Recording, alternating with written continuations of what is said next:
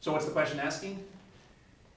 It's, um, it's asking where does a spot of light hit the bottom of the pool Okay, from where he's shining on So- the edge? here's kind of a person.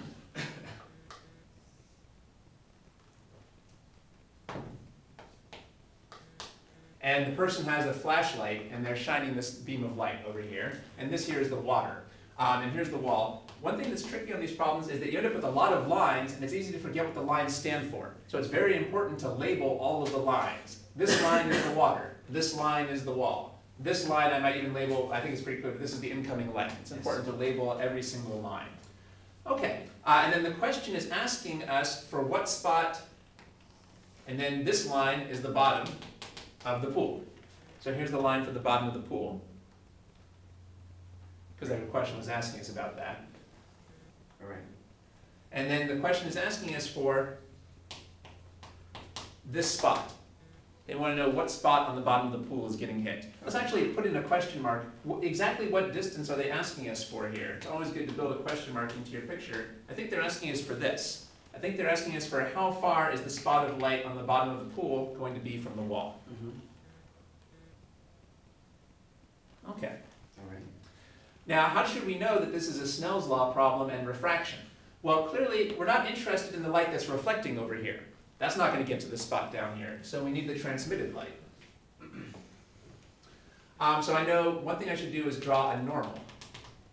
They didn't draw a normal in the picture, but we need a normal to use Snell's law. So we always have to go ahead and put in that normal, and I'll label that too, so I don't forget what that is. Okay, So medium one would be up here in the air, and medium two is down here in the water. So what should N one be? And what should N two be? Take your and time. one should be approximately one. Yeah, we know that the air has always approximately an N of one, because it hardly slows the light down. And then we have to find water. One point three three. Yeah, we could look that up in the table, but maybe we're already starting to memorize that, because we've seen a couple of examples. Okay, uh, and now we're ready to start using uh, Snell's law. Well, the first thing we can say here is, as we move into the second medium, is n getting bigger or smaller? Uh, it's getting Because 1.33 is bigger. So what's going to happen to the angle in the second medium, bigger or smaller? It's gonna be smaller. We've seen there's an inverse relationship between n and theta. Does that mean that in the water we're going to be bending towards the normal or bending away from the normal? Towards the normal. because that's a smaller angle, so I could draw that like this. Maybe I'll exaggerate that here. Let's say this is the spot. So I've tried to draw, this is a smaller angle than the incoming angle. I could have exaggerated that even more. All right. Now we have a big problem. Uh, the problem is, they didn't give us any angles. We can't use Snell's law unless we at least know one of the angles. We got n1 sine theta 1 equals n2 sine theta 2. Uh, what can I plug in for n1? Uh, you can plug in one. Because that was the original medium of the air. And what can we plug in for n2?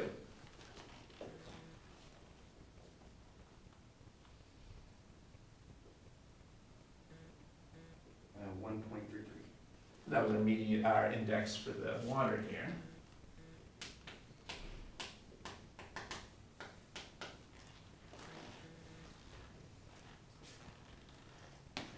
But we can't get any traction until we know one more angle. How can we figure out another angle here? Well, the key thing to notice is that this is really a geometry problem. We know that this side of the triangle is one point three, and we know that this side of the triangle is two point seven. We're supposed to be able to use geometry then to find, say, this angle. Let's call this angle alpha.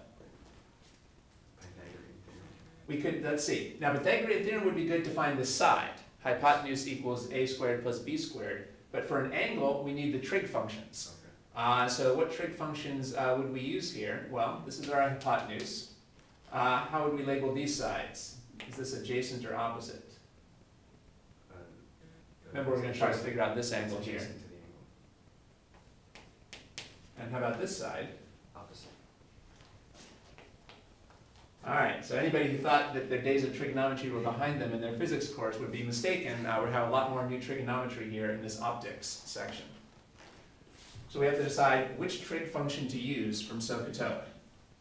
sine, cosine, or tangent, based on the fact that these are the two numbers that we know. If those are the two numbers we know, Tangent, tangent, yeah. TOA, opposite over adjacent. So let's see if we can write down the right equation for that. I I can't remember my tree. What does TOA stand for? Well, opposite, oh, excuse me, it's uh, the tan, it's, uh. Tangent equals opposite equals over adjacent. over adjacent, correct. One thing I notice a lot of people make a mistake of is they forget they have to take the tangent of an angle. So they, we, here this should be the tangent of alpha, since this is the angle that we decided to focus on here, this angle alpha. And that should be opposite over adjacent. So this is a step that if you're getting confused about trig, you don't want to skip. You should actually write down tangent equals opposite over adjacent. Here, that's the tang, tangent of alpha. Well, is there anything that we know that we can plug in here? We know two sides. Yeah.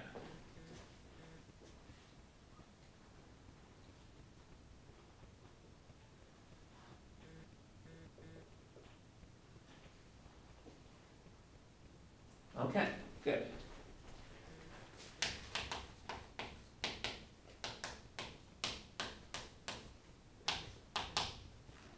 How are you gonna find alpha then?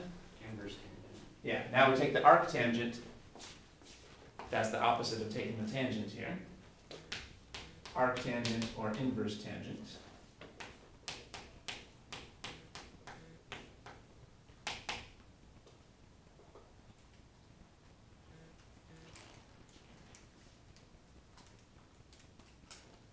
Twenty-five point six.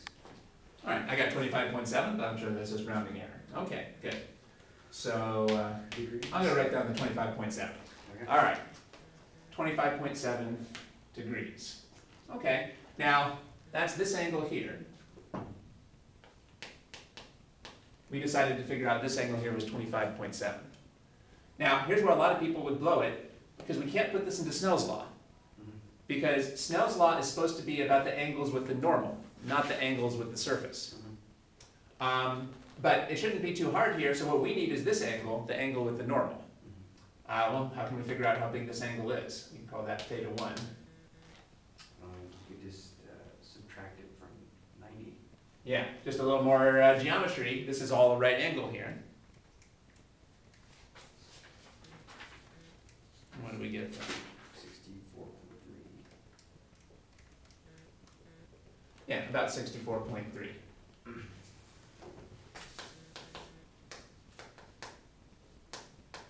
4.3 degrees. By the way, that's why I called this angle alpha and not theta. We only want to use theta for angles with the normal. We only want to use theta for angles with the normal. That way we won't accidentally put the wrong angle into Snell's law. So I made up a new symbol here because this was the angle with the surface. It was helpful, but it was not the angle for Snell's law.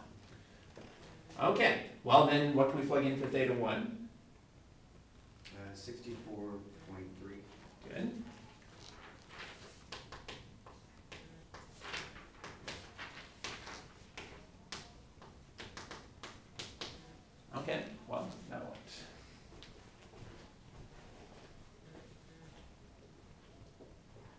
we solve for uh, theta two. Good.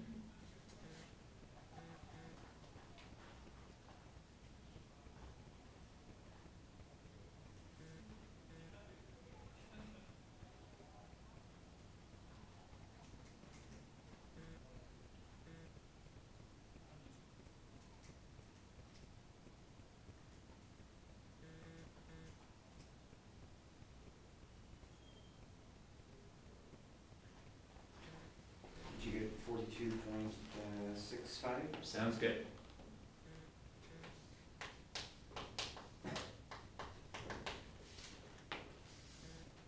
Degrees?